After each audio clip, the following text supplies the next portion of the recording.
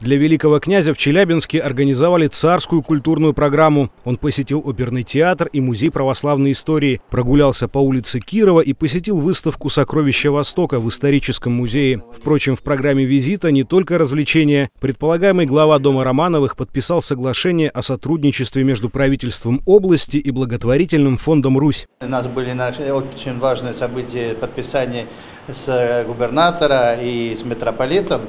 И, но и в эти два дня я все еще смог погулять по городу, посетить музей, посмотреть даже на метеорита.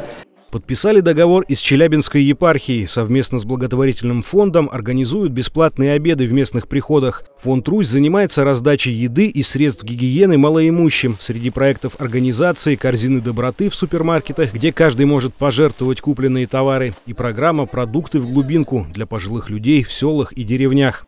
Сейчас будет настроено более тесное взаимодействие с Министерством социальных отношений. Мы уже с ними давно работаем с прошлого года, но будем э, масштабировать нашу деятельность с одной стороны. С другой стороны, будем прорабатывать с Министерством э, э, агропромышленности также возможность привлечения новых доноров, локальных доноров. В завершение визита Георгий Романов пообщался с представителями местных некоммерческих организаций. На встрече обсудили возможности сотрудничества, а также поделились опытом в запуске благотворительных проектов. Традиции благотворительности и меценатства, они в Челябинской области развиваются достаточно давно, безусловно, с ее основания, с царского времени.